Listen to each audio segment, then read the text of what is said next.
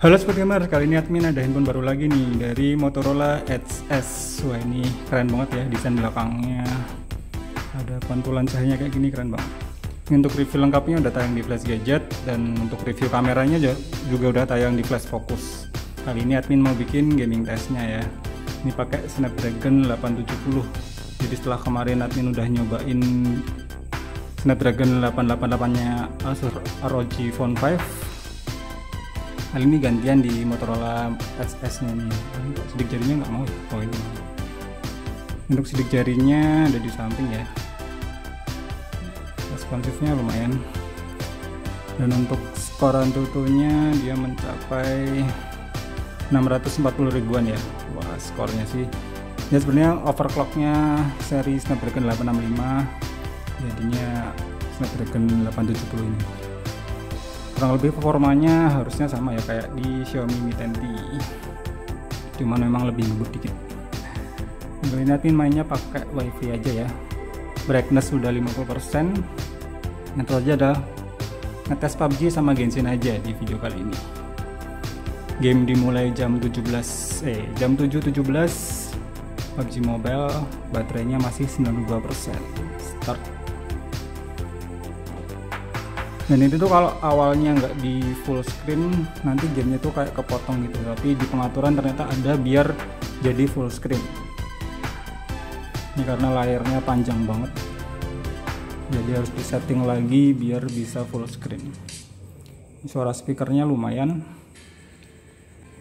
Kita lihat settingannya. Dia udah bisa di Ultra SD dengan frame rate ultra ya. Itu versi rata kanannya sama admin mau bikin di semut ekstrim aja ya yang paling enak. Atau karena semut ekstrim udah terlalu sering kita main di semut ultra eh semut ultra. Ini ultra SD ultra aja ya. Ini udah yang paling bagus grafisnya. Hero nya juga jelas udah ada lah ya. Always on. Kita langsung mulai aja. Suara speakernya belum full sih.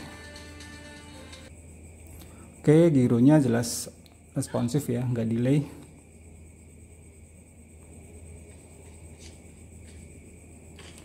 Screennya juga enak.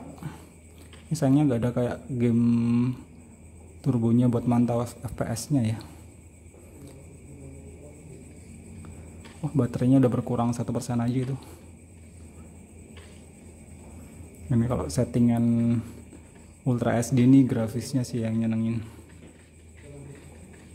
Kita lihat airnya.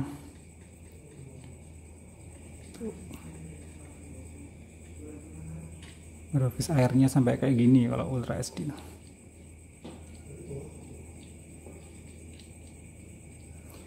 semi realistis lah ya.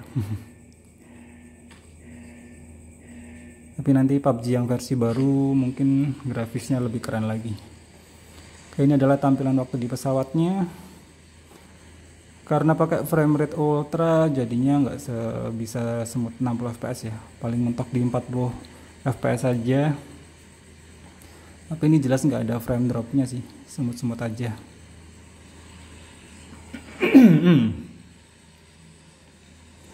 Dan grafisnya Ultra SD ini keren banget ya. Kita turun di mana nih?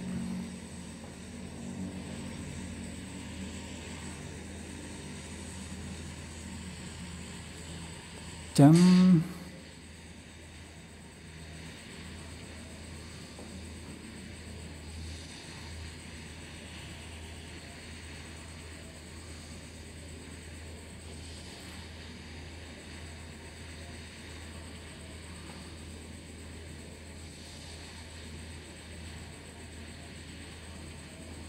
Oh iya malah tadi admin belum ngecek suhunya juga ya. Ini mainnya di suhu ruangan 28 derajat kita cek dulu suhunya di awal permainan. Si adem sih. Masih di 35 sampai 36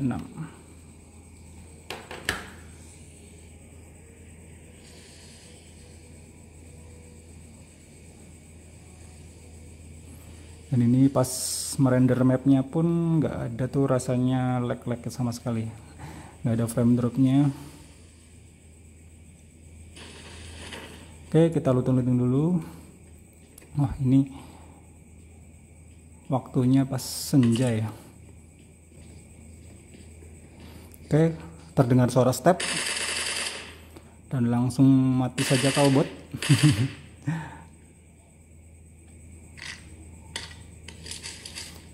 Suara stepnya sih mantep ya. Meskipun ini kayak settingannya belum audionya belum ultra loh ini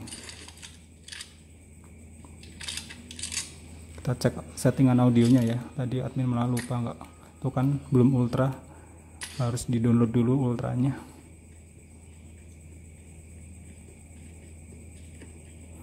Jadi meskipun Motorola HS ini support 90 Hz tapi belum support di PUBG nya untuk smooth 90 fps ya. Ini masih perlu update lagi cuma di awal permainan ini jelas yang Apin rasain gameplaynya masih smooth ya. Di settingan rata kanannya ini masih enak banget buat dimainin. Kontrolnya juga responsif giro nggak delay. Oke dan udah sekitar 10 menit bermain. Untuk yang gameplaynya Apin rasain masih smooth-smooth aja ya. Ini meskipun udah mulai kerasa hangat tapi nggak pengaruh ke performanya. Ya masih belum ada kerasa lag-lagnya sama sekali. Kita cek dulu suhunya setelah sekitar 10 menit bermain ya.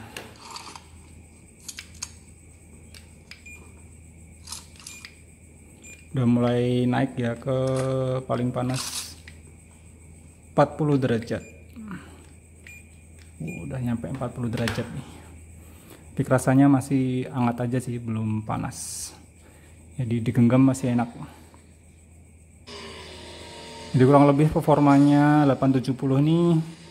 Mirip-mirip ya kayak di Snapdragon 865 ya lancar banget kalau buat main game PUBG Mobile di settingan rata kanannya ini. Kalau di settingan rata kanan gini aja lancar pastinya di smooth ekstrim lebih enak lagi atau harusnya memang ini supportnya di smooth 19 fps cuma memang belum ke unlock aja. Kalau yang seneng sama grafis pemuja grafis ini Ultra SD ini paling bagus nih grafiknya paling real ya. Oke ada musuh di mana ya? Oh itu apa? Hmm.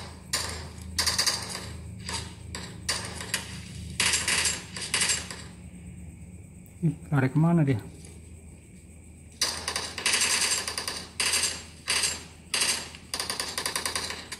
Gironya enak sih. Jadi buat ngepasinnya tuh hmm.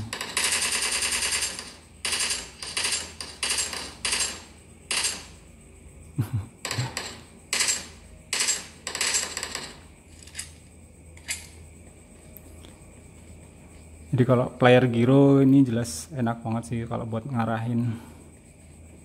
Tinggal diatur sensitivitasnya aja udah pasti makin enak. Oke dan mendekati late game yang dari tadi admin rasain gameplaynya jelas masih nggak ada kendala ya. Masih mana-mana aja. Ini, ini suhu panasnya juga mulai meningkat. Kita cek lagi suhunya. Naik ke berapa ya ternyata hanya naik satu derajat aja ya. 41 hampir 42 lah. Jadi 41,9 itu masih hangat kerasanya jadi nggak panas.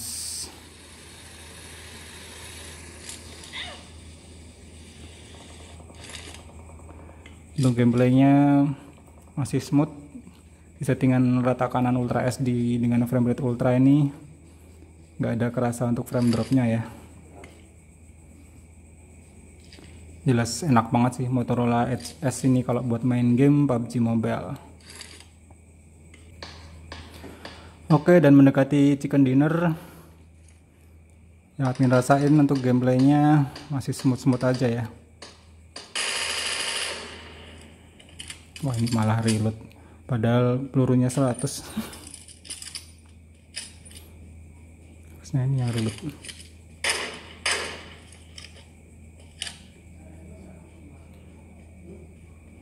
tinggal kurang satu lagi nih. Oh itu apa? Oke chicken dinner. Udah admin asal nembak. Loh yang MVP malah teman admin. Jadi kalau mau lihat sensor gironya hmm, nahannya enak banget ya Oke kita lihat untuk satu matchnya PUBG Mobile dia habisnya berapa? Kita langsung keluar aja. Game berhenti di jam 7.48 dan baterainya sisa 84% lanjut ke game selanjutnya yaitu Genshin Impact ya. Oke untuk Genshin Impact sama ya brightnessnya juga 50% Game dimulai jam 7.49 dan baterainya sisa 84% jadi nerusin yang PUBG tadi. Start. Ini karena chipsetnya termasuk kelas atas, harusnya mainin Genshin Impact di rata kanan masih bisa ya.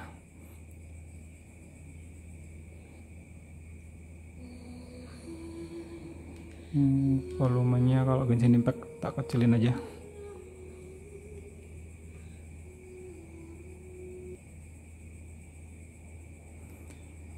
Kecepatan masuk dari menu ke gamenya termasuk cepat ya. Keren sih ini. Kita lihat settingan defaultnya. Dia berada di medium ya. Defaultnya medium tapi kita rata atas rata kanan. Mode 60 fps ya di settingan rata kanan 16 fps ini pun gameplaynya masih termasuk playable ya. Tetap ada frame drop sini cuman masih enak untuk dimainin. Kita cari musuh. Jadi kalau memang buat main game berat sekelas Genshin Impact tentunya Motorola Edge S ini masih enak ya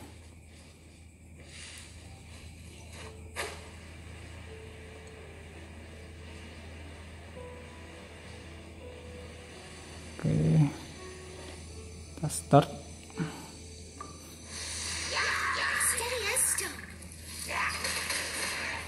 Itu semua. Ini meskipun udah ngeluarin skill efek animasinya frame dropnya hampir nggak begitu kerasa ya. Tetap ada frame drop sih. Cuman masih playable banget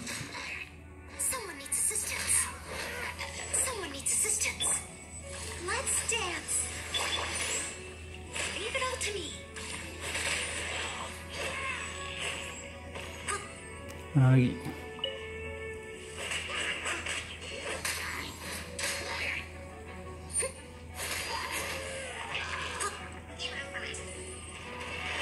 うるさい。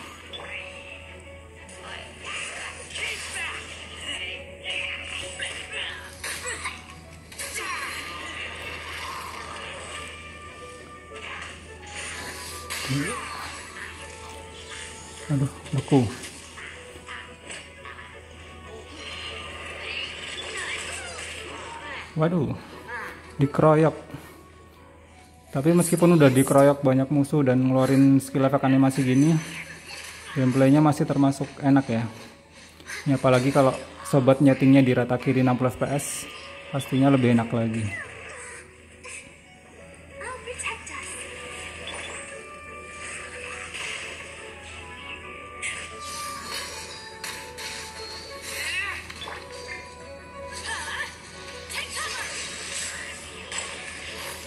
kebakar kau kebakar. Wah curang di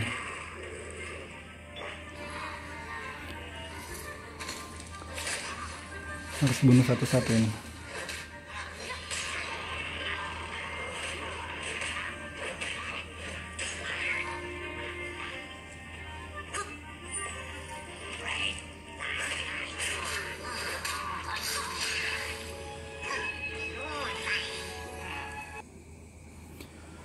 Oke dan ini admin kayaknya udah main sekitar hampir 10 menit ya.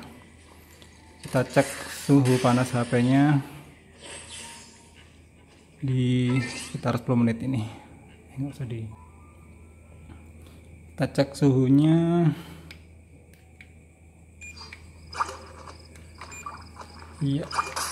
Panasnya cuma sampai 41 aja ya paling panas. Nggak panas sih itu masih hangat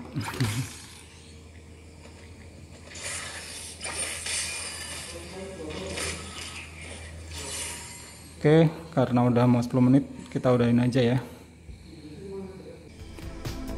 Kita keluar. Game berhenti di jam 7.59, wah pas jam 8. Baterainya turun ke 80%.